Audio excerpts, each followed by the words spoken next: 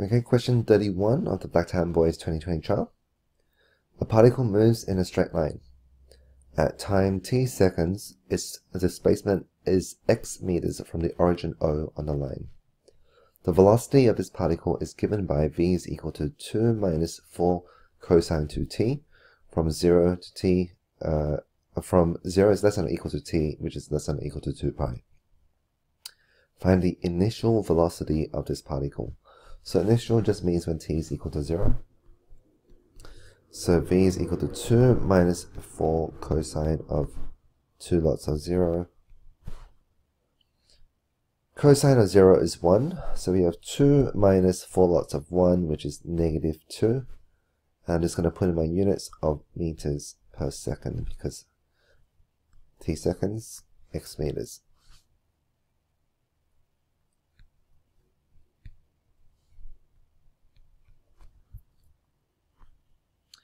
Question B, find all the times when the particle is at rest, where 0 is less than or equal to t, uh, to t, which is less than or equal to 2 pi. So the particle is at rest when the velocity is 0. So we need to make 2 minus 4, 4 cosine of 2t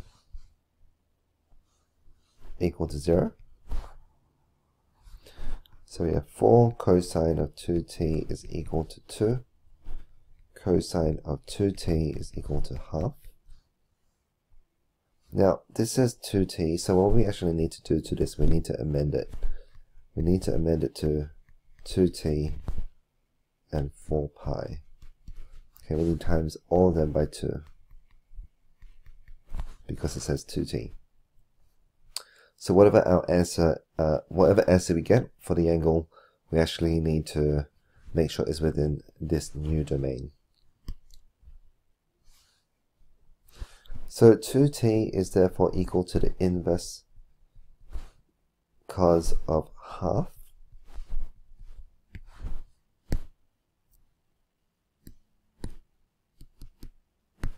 Sixty degrees, which is pi on three.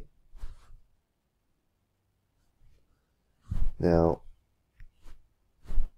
all stations to central, where is cosine um, positive because it's positive half. Positive here and here. So this is 60 degrees. This is 60 degrees. I find it easiest just to write everything in degrees. So let's just do that first. 60 degrees and then 300 degrees. That's within 0 and 2 pi, but we need to go all the way up to 4 pi. So I'm going to add 360 degrees to both. 60 plus 360 is 420. 300 plus 360 is 660.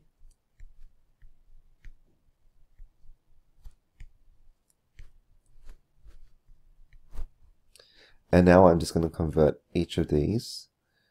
Well, at first I need to find what t is equal to, and then I'll convert it all to um, to radians. So if 2t is equal to all of those, t has to equal to 30, 150, um, 210, and 330.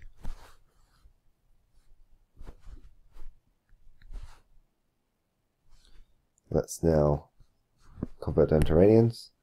So 30 and 180, which is pi on 6.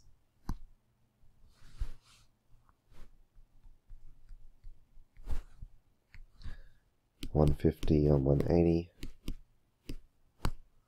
is 5 pi on 6.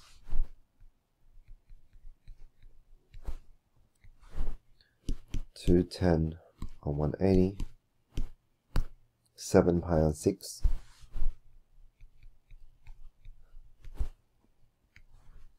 and three thirty on one eighty, eleven pi on six. And these are all seconds.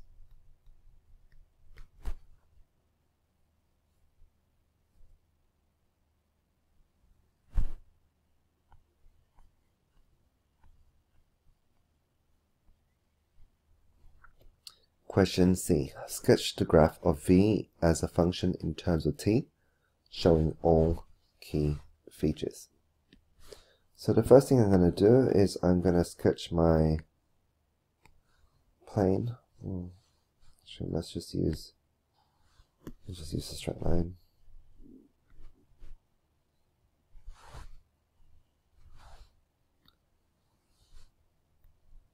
So just remember, right, we've got our velocity here, which is in meters per second, and we've got our time here, which is in seconds. Now our time is going to go all the way to 2 pi. Okay, because the question before wants us to go from 0 to 2 pi.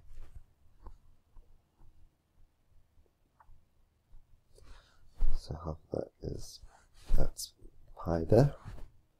Now we notice that all our answers from before, for when they were at rest, they're all over 6. So I might just divide each of these into 6. So,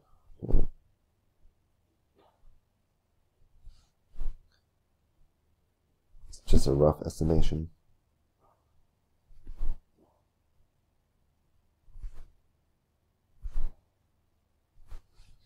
So that means that's pi on 6, 2 pi on 6, 3 pi on 6, etc.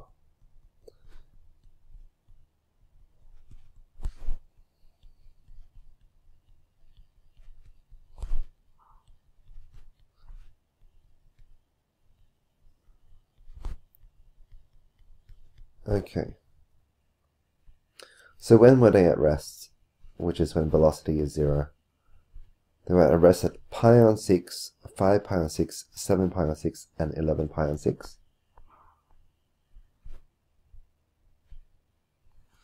So at rest here. 5 pi on 6, 7 pi on 6, and 11 pi on 6. We know that the velocity um, was at minus 2 initially. I'm just going to do that over here.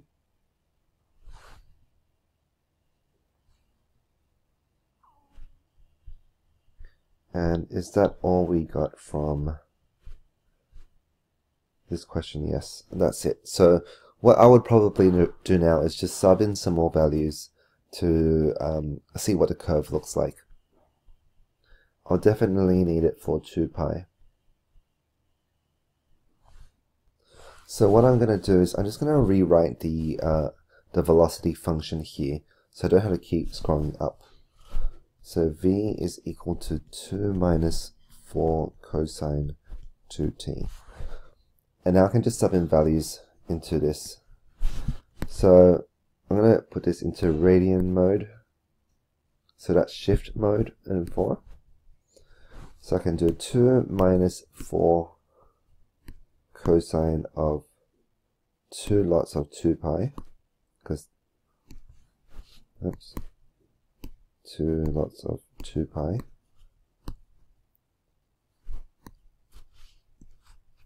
So when t is equal to 2 pi seconds, velocity is at negative 2. So that's down here.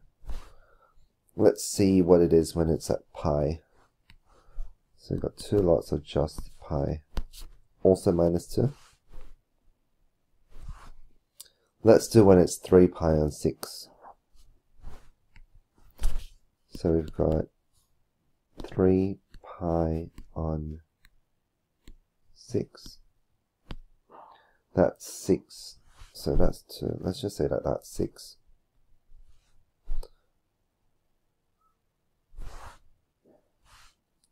Make sure it's just above it. Um, let's have a look for 9 pi on 6. Also 6. And that should be enough. That should be enough uh, for us to know what the curve is going to look like.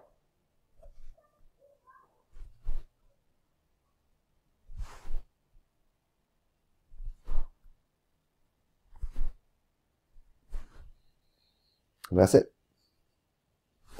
Might be helpful to just label a few of these. I'll just say 9 pi on 6. You can say, you know, uh, 3 pi on 2. I'll, I'll say pi on 2 here. Right, I'll say pi comma minus 2. 2 pi minus 2.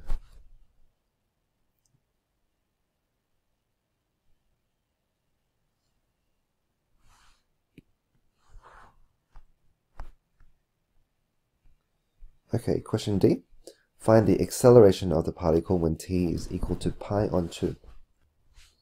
So if v is equal to 2 minus 4 cosine 2t, then in order for us to find the acceleration, we need to differentiate this. Our constant of 2 will disappear. So we just need to technically um, differentiate this. So what do we get when we differentiate cosine? So I'm going to go back to my reference sheet. This is the formula that we'll be using. When we differentiate cosine, we're going to get negative f dash of x of sine f of x. So whatever f of x is, we need to differentiate that. Here's our f of x. Here's our f of x, not f of t. Differentiate that, we get um, 2. So we've got negative 4 times 2 times negative sine f of x. So this is just going to become a positive. Sine of 2t. So acceleration is going to be 8 sine 2t. So when t is equal to pi on 2, the acceleration will be 8 sine 2 times pi on 2 is just pi. Sine of 180, or sine pi, let's see what that's equal to. 0. So acceleration is just zero meters per second squared.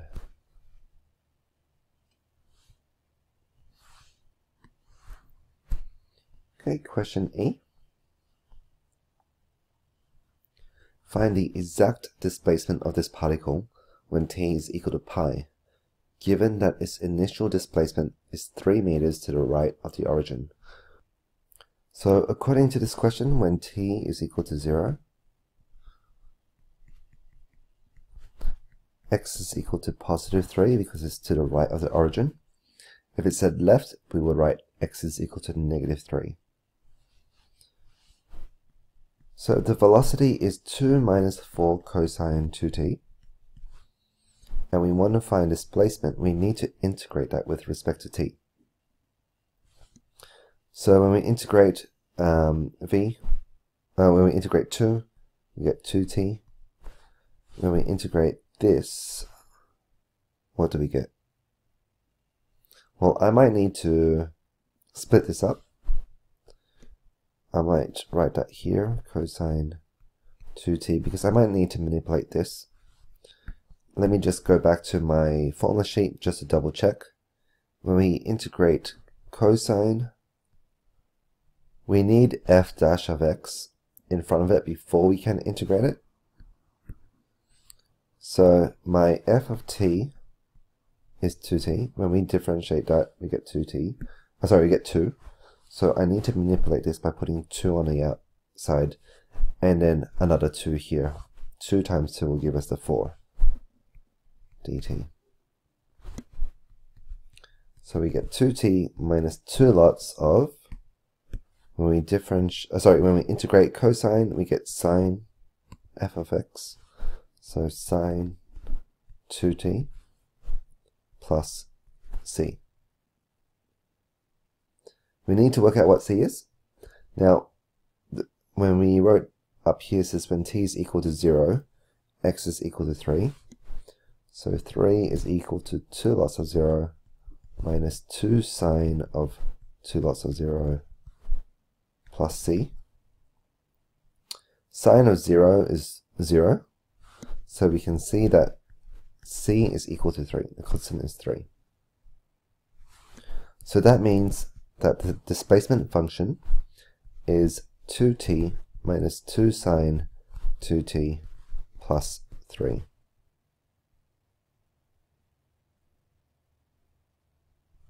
Now the question says, find the exact displacement when t is equal to pi. So when t is equal to pi, x is equal to 2 pi minus 2 sine 2 pi plus 3. What is 2 sine 2 pi? So sine of 2 pi. Remember, this is in radians mode.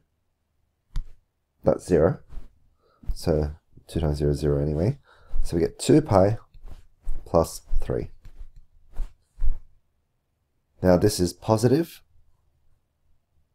Okay, so this is 2 pi plus 3 meters to the right of the origin.